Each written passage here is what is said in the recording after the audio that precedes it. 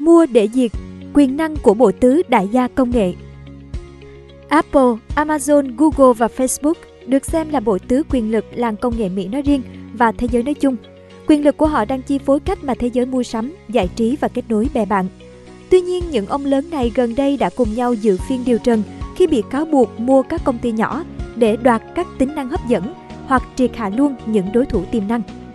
Quốc hội Mỹ từng yêu cầu các nhà lãnh đạo ngân hàng điều trần sau cuộc khủng hoảng tài chính năm 2008 đối chất với các nhà sản xuất thuốc lá về những vấn đề đối với sức khỏe cộng đồng. Họ cũng buộc các nhà lãnh đạo ngành hàng không phải giải thích về thói quen đối xử tệ với hành khách trong nhiều năm.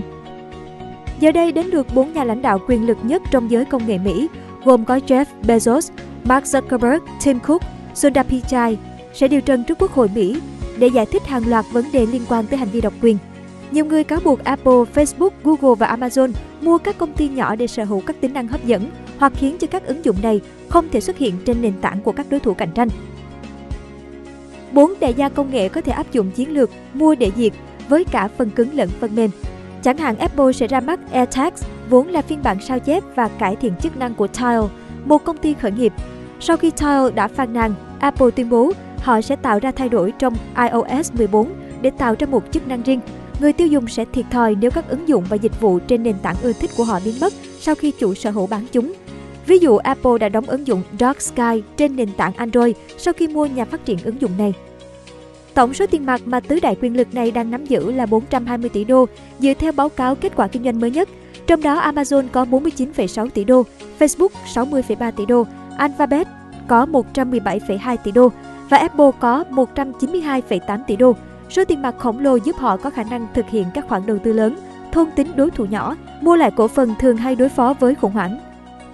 Việc mua lại các công ty nhỏ của những đế chế công nghệ đã tăng lên trong năm 2020. Số công ty nhỏ mà Amazon, Apple, Google, Facebook và Microsoft mua lại trong 6 tháng đầu năm đã đạt 27, tăng 29% so với cùng kỳ năm ngoái, đạt mức cao nhất từ năm 2015. Phong trào mua lại tràn lan càng làm tăng khả năng các tập đoàn sẽ chịu sự giám sát về độc quyền.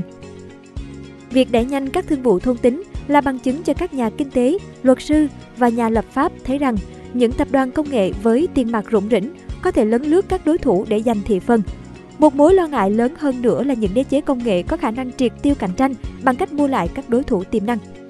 Tim Cook, CEO của Apple khẳng định, Tôi không nghĩ bất cứ ai có thể kết luận Apple là công ty độc quyền.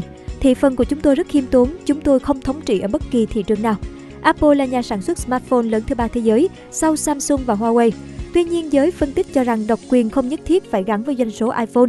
Thay vào đó, Họ bị các nhà phát triển ứng dụng chỉ trích vì chính sách thu phí lên tới 30% doanh thu trên App Store. Ngoài ra thì Apple cũng phân phối những dịch vụ tương tự của đối thủ trên chính kho ứng dụng của mình.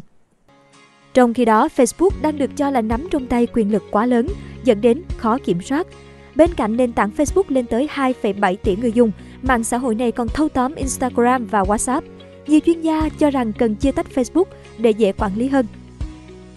Với Google, Bộ Tư pháp Mỹ tập trung vào cáo buộc hãng này độc quyền trong mạng quảng cáo trực tuyến, ưu tiên hiển thị dịch vụ, sản phẩm do chính họ phát triển và chèn ép đối thủ của mình.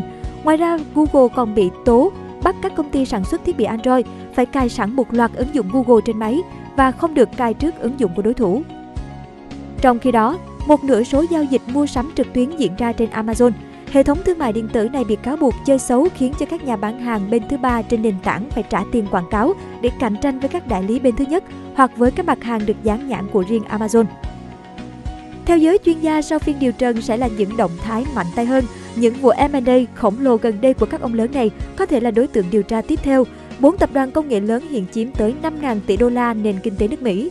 Có thể nói bộ tứ quyền lực đang định hình cuộc sống của mọi người, hàng hóa họ mua, nội dung giải trí, cách kết nối với gia đình, bạn bè, cách họ nhìn nhận thế giới. Quyền lực đáng sợ này lại nằm trong tay một số ít công ty của một số người đứng đầu. Cảm ơn bạn đã xem video tại kênh Người Thành Công. Đừng quên nhấn nút đăng ký bên dưới và xem thêm những video mới để ủng hộ nhóm nhé!